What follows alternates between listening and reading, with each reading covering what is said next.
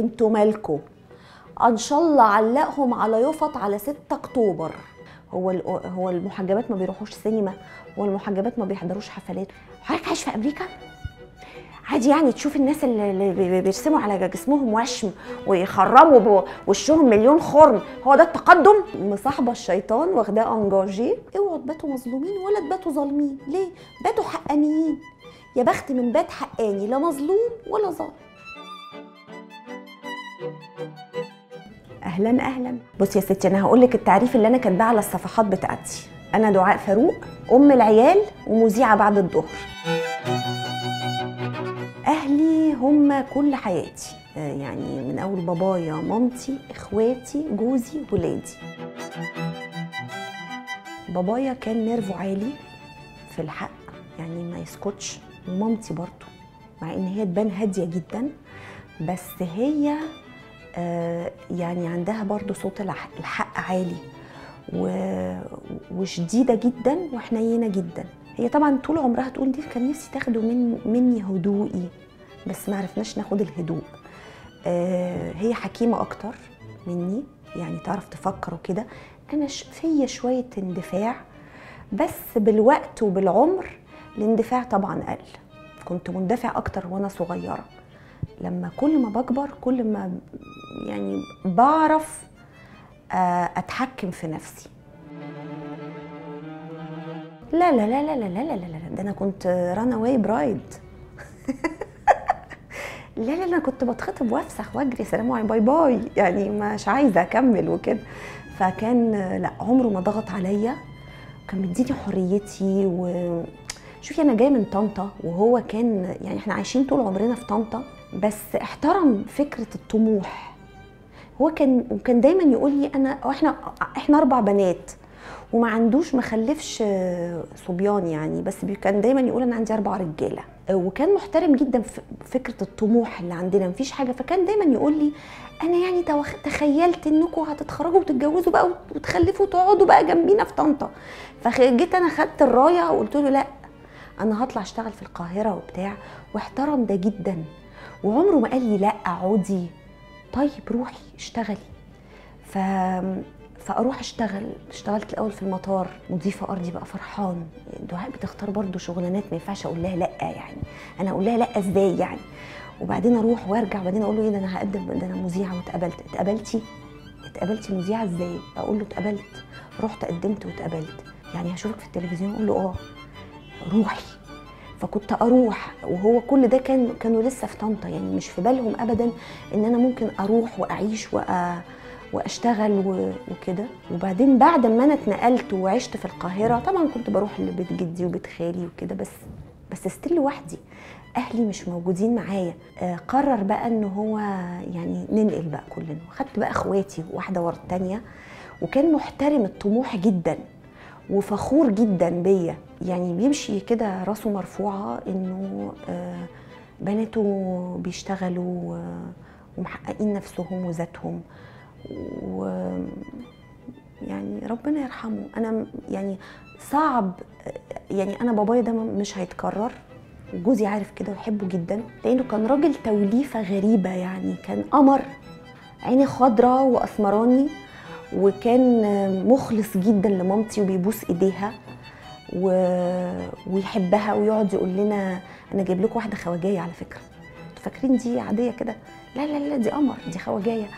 ويبوس إيديها وي- ويدلعها قدامنا ويحبها ويساعدها في البيت. وكان مهندس ويشد مني مثلا لو أنا واقفة بنظف يشد يقول لي انت عارفة بتعرفي تعملي أنا اللي هعمل. كان توليفة كده صعب تلاقيها صعب يجود بيه الزمان. ويهزر وي... ويشيل الولاد على ظهره وشيك. وبيتكلم كويس ويشرف جوه وبره. ربنا يرحمه يعني. لا لا لا.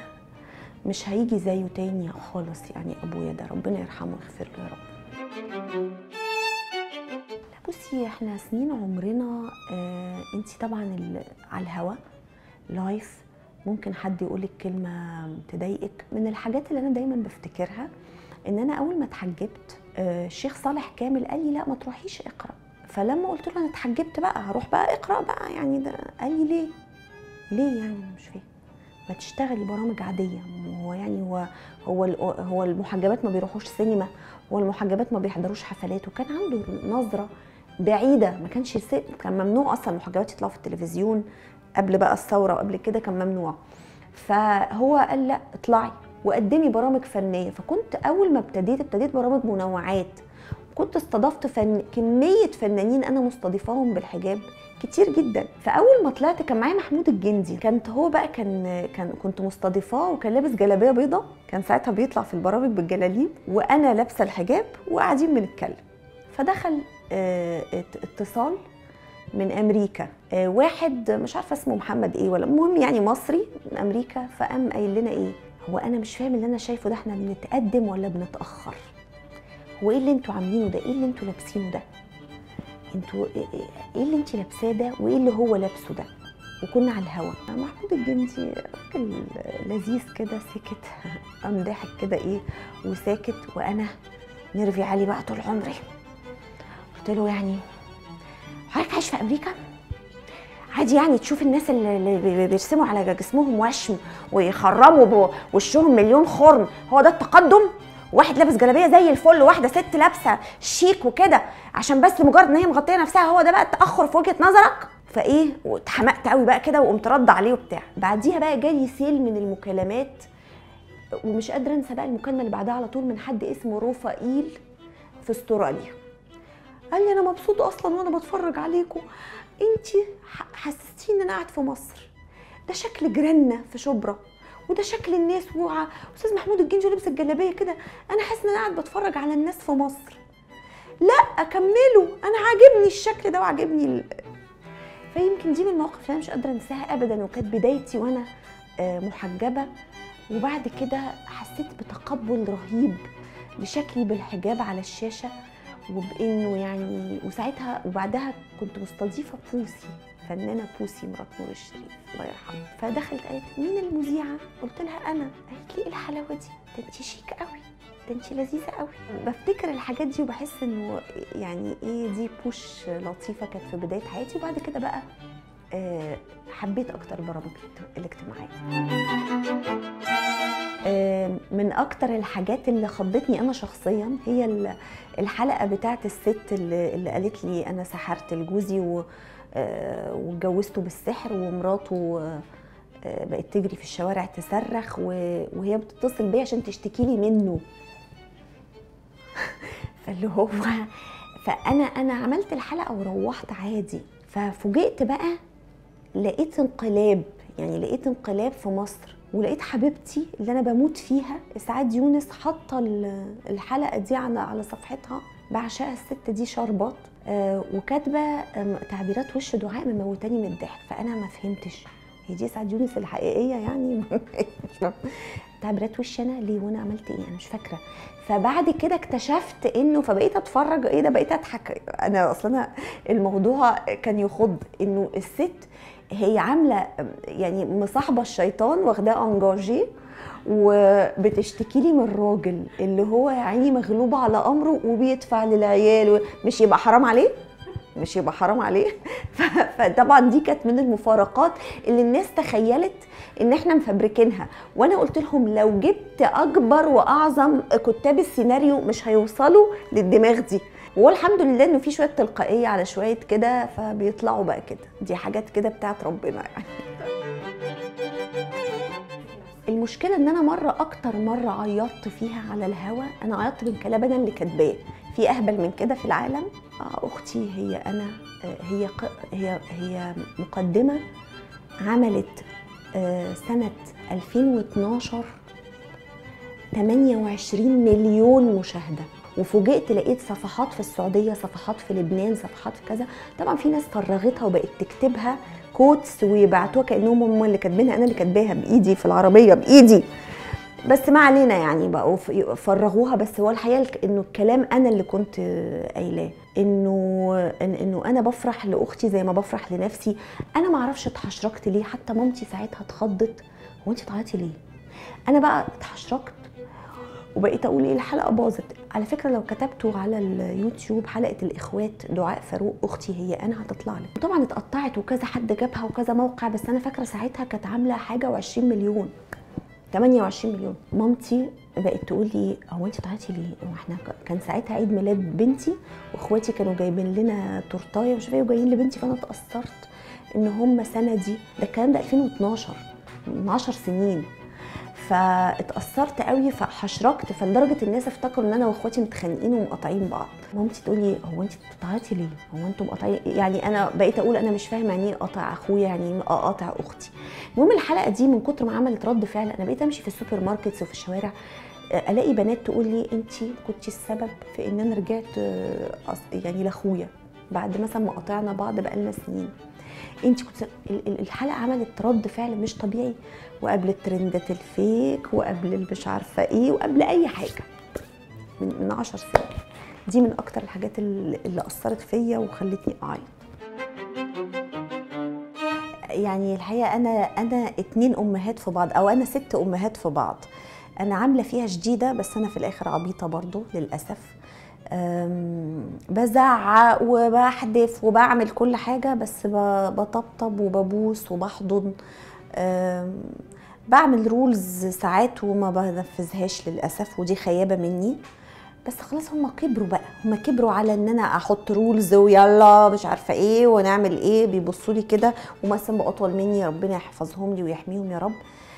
بس أنا أنا بحب الأو أنا بحب الحنية. يعني في الآخر عارفة اللي بيقولك كله بالحب؟ هو كله بالحب. يعني في الآخر أنا أم شديدة منظر. إنما في الآخر أنا مش شديدة ولا نيلة. كان نفسي أبقى شديدة مرفوض. عارفة أمينة شلباية؟ مرفوض. مرفوض. مرفوض مرفوض. بصي لما حد يستغيث وبالذات إن هي واحدة من البيت دي عايشة معانا وفي وسط ولاد ولادي ومربية لي ولادي. لما بنتها هي اللي تستغيث لا ما أقدرش ما ما ساعدهاش. وكان لازم أصعد الموضوع وأكتبه لأنه بجد هي محتاجة كل الدعم من كل الناس. مش مش مجرد إن أنا هكلم حد يعني أنا عايزة أقويها. وكنت محتاجه محتاجة لها دعم أكتر من إن أنا أكلم حد لأن ممكن الحد لو قلت له الست اللي بتشتغل عندي متخانقة مع جوزها. واقع الجملة دي إيه؟ وقعها عادي. غير لما أقلب لها الدنيا. وأنا الحقيقة يعني حقها عليا إنه أنا كان لازم يعني أقلب الدنيا. لإنه لو أنا بنتي كنت هقلب لبنتي الدنيا. لو أنا لو أختي هقلب لها الدنيا. فمش معنى إنها عشان الست اللي, اللي بتشتغل عندي أقوم إيه عاملة فيها إن أنا بوصلها هتجيلك الست اللي كده جوزها ضاربها وشوف بقى ممكن تعمل معاها إيه. لا زي ما هقلب الدنيا لحد قريب مني أنا بقلب لها الدنيا. والحمد لله يعني تم التعامل على أكمل وجه معاها الحمد لله. مش مسموح أصلا مش مطروح أساسا للنقاش. خلاص ما تحطيش صورة ولادك أنتوا مالكوا. إن شاء الله علقهم على يفط على 6 أكتوبر. أنا حرة. حدش يتحكم فيا ولا في ولادي ولا أصلا مسموح حد يدخل على صفحتي يكتب ويبدي رأيه. عارفة؟ ده أكتر حاجة يعني ما انت ما انت غلطانة انت بتحطي صور الولاد. أنا حرة. أنا أحط ما أحطش. دي أنا حرة. أنا أفرح بولادي بقى أنا فرحتي بولادي هحطهم جنبي كده وأتصور معاهم. ما اتصورش معاهم. بنتي بعد كده بقتش تحب. خلاص أحترم رغبتها. هي اللي ليها الحق إنها تتصور أو ما تتصورش. أنا أحترم رغبتها. ليه؟ تقولي لا لا لا, لا مش هتصور. أه وهتحط معاكي والناس تقعد تقول كلام وكده خلاص. أنا أحترم رغبة بنتي. إنما حابة تتصور معايا وتنزل تحط صورتها معايا أحطها طبعا. إذا هي ما عايزة تفرح بأمها. أمها فلانة مثلا وعايزة تصور مع أمها وتنزل على صفحتها. إيه يعني مثلا؟ هخاف من شوية ناس بتقول كلام كده. ده انت ابنك لو جارتك دخلت فتحت الباب وقالت لك ابنك عامل كده تديها على دماغها. أنا بقى عشان أنا مثلا معروفة فعادي بقى بنتي تبقى مشاع؟ لا. وإلا ولا يمكن. وهفضل أعمل كده لغاية ما يبقوا كبار. مش هسمح لحد يجيب سيرة أي لا إخواتي ولا أمي ولا جوزي ولا ولا حبايبي ولا أي حد. وهفضل أرد غيبة أي حد. بس كده. بصي إحنا الحمد لله مربيينها على آه، آه، فكرة إنه لازم حد يحترمها وهي طول الوقت شايفة إنه إزاي كده إزاي واحدة تتهان وتتضرب إزاي مش عارفة إيه إزاي ولادها يبقوا تروماتايزد إزاي؟ فإحنا مربيينها على الموضوع ده وربنا يستر واللي يجي يبقى عدل. ما كنتش حاطة معايير غير إنه أبقى مرتاحة. واتجوز راجل. يعني راجل. الحمد لله والشكر لله ربنا رزقني آه، بسيد الرجاله يا رب. للناس بشكل مطلق أنا مش أحسن واحدة قوي تنصح. بس أنا فاكرة إنه أنا آه، مرة طلعت اتكلمت إنه المقولة بتاعت يا بخت من بات مظلوم ولا باتش ظالم دي أنا ما بحبهاش.